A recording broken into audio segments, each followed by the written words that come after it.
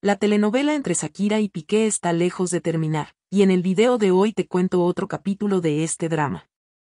Antes de continuar con el video, suscríbete al canal y deja tu like en el video.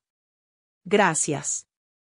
Según el diario español La Vanguardia, Piqué se enfureció después de que sus hijos participaran en el nuevo video musical de Shakira, Acróstico. Piqué no había sido informado de la participación de sus hijos en el clip y le pilló por sorpresa cuando vio el video en las redes sociales. Piqué y su abogado se estarían preparando para denunciar a Shakira por no gustarle la participación de los niños en el clip. Según el diario, el abogado del exfutbolista le está presionando para que tome tal decisión.